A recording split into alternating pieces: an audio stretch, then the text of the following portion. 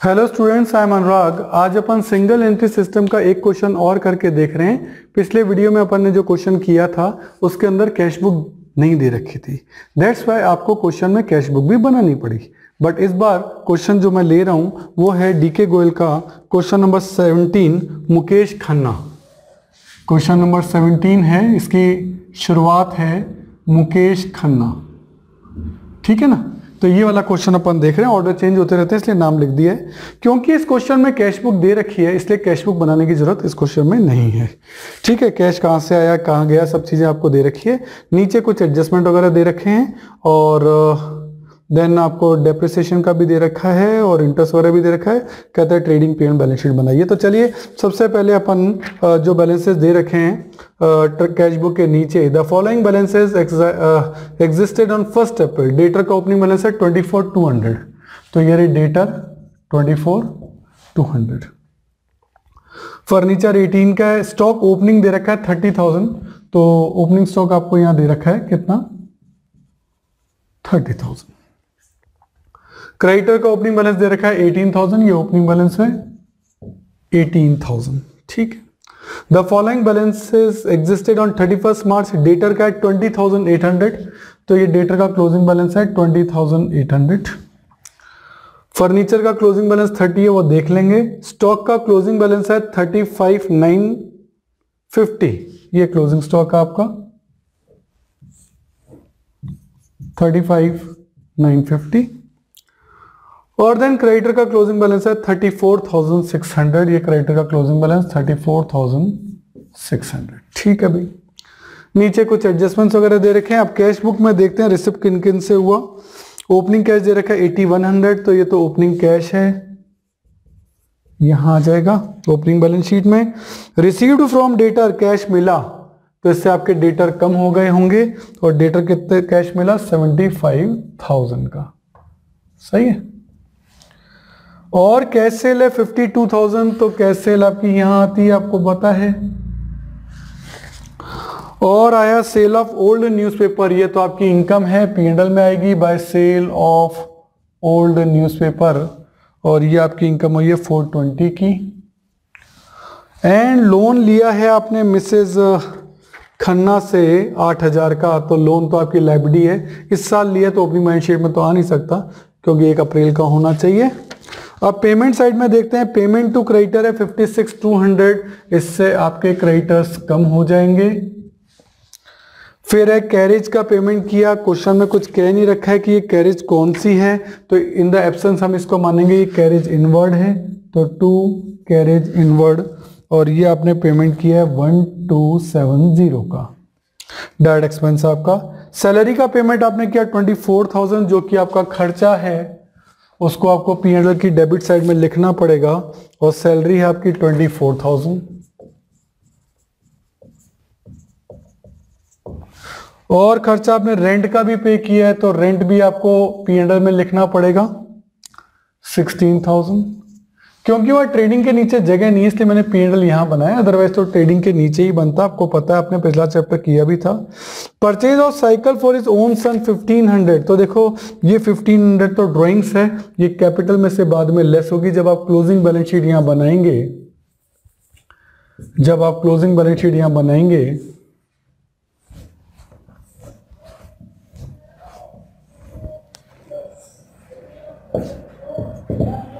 जब आप यहाँ कैपिटल लिखेंगे तो वहाँ ड्राइंग्स आपको 1500 लेस करना है।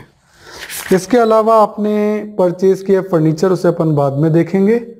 फिर नीचे आ, लिखा है डेप्रिशिएट फर्नीचर बाय 10 परसेंट तो फर्नीचर को अब देखना पड़ेगा अपन को।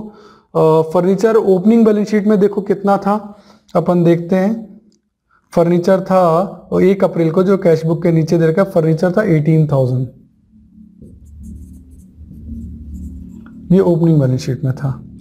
फिर कैश बुक में आपने फर्नीचर परचेज भी किया तो फर्नीचर पहले से था 18 प्लस आपने परचेज किया कैश बुक में सेकंड लास्ट आइटम है 12 का तो अब आपका फर्नीचर टोटल हो गया 30 का। और नीचे पॉइंट नंबर वन में कहता है डेप्रिशिएट फर्नीचर बाय 10 परसेंट तो डेप्रिशिएट टेन परसेंट लिखा है टेन परसेंट पर एन नहीं लिखा। इसलिए मंथ का ध्यान रखना है पूरा टेन परसेंट लगाना है।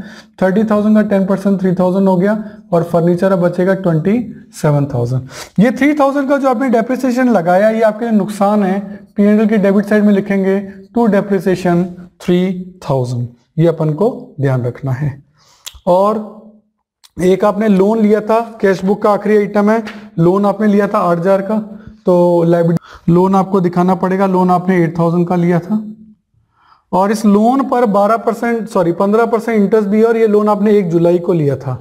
क्योंकि आप ये जो ट्रेडिंग अकाउंट और पीएल अकाउंट बना रहे हैं थर्टी फ़र्स्ट मार्च को बना रहे हैं, इसके कारण आपको एक जुलाई से इकतीस मार्च, नौ महीने का इंटरेस्ट जो है, वो आपको देना पड़ेगा। तो आठ हज़ार का पंद्रह परसेंट और वो भी नौ महीने के लिए, ये आपका होता है नौ सौ रुपए। तो टू इंटरेस्ट ऑन लोन, ये आपका हो गया नाइन हंड्रेड। और क्योंकि आपने कैश बुक में कहीं पेमेंट नहीं दिखाया है इसका, इस कारण से ये आपका आउटस्टैंडिंग इंटरेस्ट भी आपका दिखाना पड़ेगा कितने रुपए? नौ सौ रुपए। है ना? ये आउटस्टैंडिंग है। क्योंकि कैश बुक में पेमेंट नहीं दिखा है इसका मतलब आपने पेमेंट नहीं किया है, नहीं किया तो आउटस्टैंडिंग अपने आप ही हो गया। सही है? और कोई चीज़? देखें अब। अब देखो, और तो कोई ट्रांजेक्शन अभी बचा नहीं है।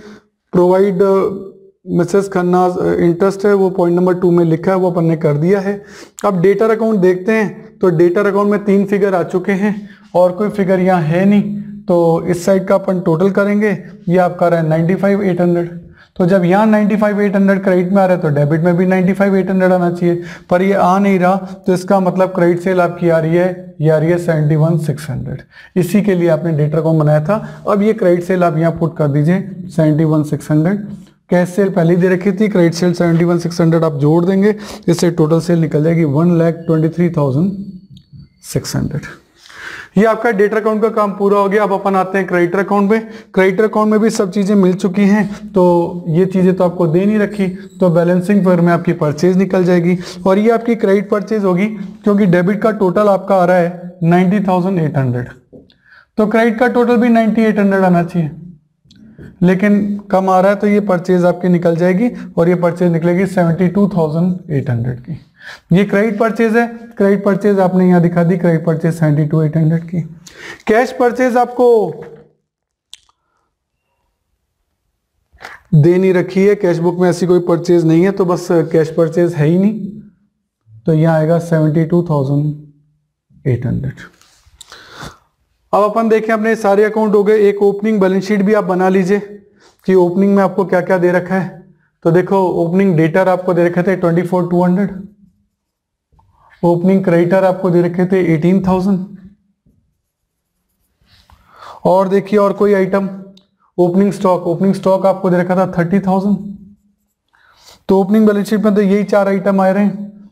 अब आप एसेट साइड का टोटल करेंगे। टोटल आपका आ रहा है एटी थाउज़ेंड थ्री हंड्रेड। तो फिर लाइब्रेरीज का टोटल भी एटी थाउज़ेंड थ्री हंड्रेड ही आना चाहिए। लेकिन यहाँ तो सिर्फ़ एटीन आ रहा है।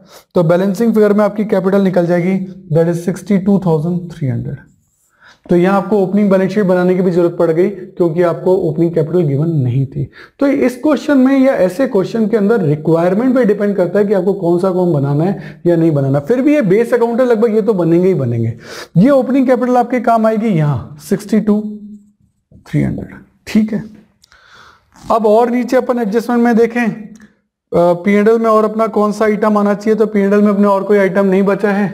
तो ट्रेडिंग से अपन जीपी निकाल दें। तो ट्रेडिंग में क्रेडिट साइड का पहले टोटल करेंगे। ये टोटल आ रहा है one fifty nine five fifty तो डेबिट का टोटल भी इतना ही आना चाहिए one fifty nine five fifty पर डेबिट का इतना टोटल आ नहीं रहा है तो बैलेंसिंग फेयर में ग्रॉस प्रॉफिट निकल जाएगा fifty five thousand four eighty ये ग्रॉस प्रॉफिट पीएनएल में यहाँ आएगा fifty five thousand four hundred eighty और पीएल में कोई आइटम है नहीं तो पीएल की क्रेडिट साइड का टोटल करेंगे। तो ये आपका आ जाएगा fifty five thousand nine hundred debit side में आपके ये चार आइटम है और कोई आइटम है नहीं।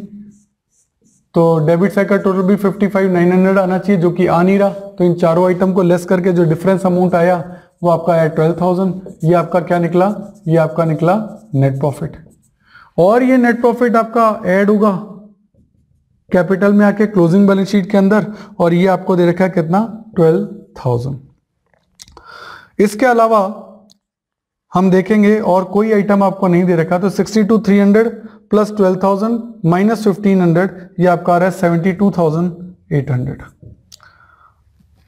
और अगर अपन देखें क्रेडिटर का क्लोज डेटर का क्लोजिंग बैलेंस बीस आठ सौ। क्रेडिटर का closing balance thirty four six hundred furniture अपन ने पहले लिख ही दिया। ओपनिंग बैलेंस शीट के डेटर थे, क्लोजिंग में भी लिखे हैं, फर्नीचर लिख ही दिया। Closing stock. क्लोजिंग स्टॉक आपने यहाँ लिखा था, थर्टी फाइव नाइन फिफ्टी। और ओपनिंग बैलेंस शीट में कैश तो कैश का क्लोजिंग बैलेंस तो आपको कैश बुक में मिल जाएगा, thirty two five fifty. Closing thirty two five fifty. ये आपका क्लोजिंग कैश भी आ गया तो चार ही आइटम है।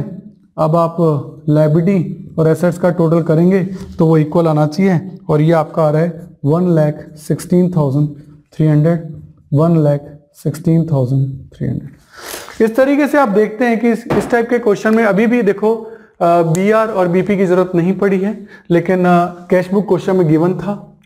तो हमने ओपनिंग बैलेंस शीट बनाई debtor account creditor account then trading then P and L और then balance sheet as per the requirement of the question जो चीज़ें आपको ज़रूरत होंगी, वो सब आपको बनानी पड़ेगी। कोई क्लियर फॉर्मेट नहीं है।